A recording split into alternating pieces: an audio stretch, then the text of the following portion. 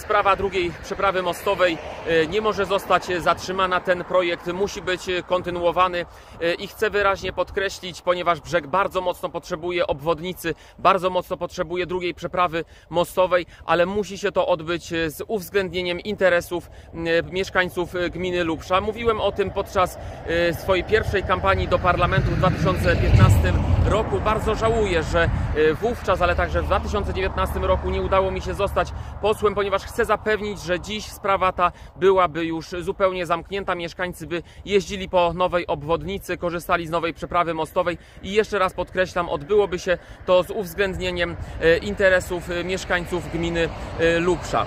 Mimo tego, że wówczas mi się nie udało, ze skromnymi możliwościami radnego Rady Miejskiej Brzegu zabiegałem od wielu lat o tę sprawę wraz z ówczesnym starostą Maciejem Stefańskim.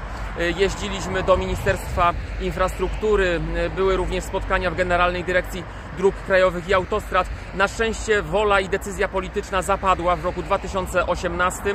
E, od tego czasu już pierwsze prace projektowe zostały wykonane e, w sprawie drugiej przeprawy mostowej.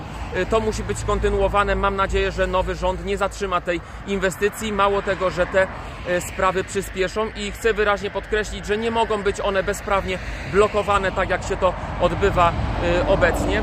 Ta sprawa musi być kontynuowana. To jest w żywotnym interesie. Widzimy, jak sytuacja związana z nieszczęśliwym wypadkiem pod Pisarzowicami wpłynęła na paraliż komunikacyjny całego miasta, całego y, powiatu, nie tylko brzeskiego, okolicznych, y, więc y, mam nadzieję, że te sprawy przyspieszą. W Sejmiku Województwa Opolskiego będę bardzo mocno zabiegał o to, aby właśnie doszło do realizacji, do skutku tej ważnej dla mieszkańców powiatu brzeskiego, ale i okolicznych inwestycji.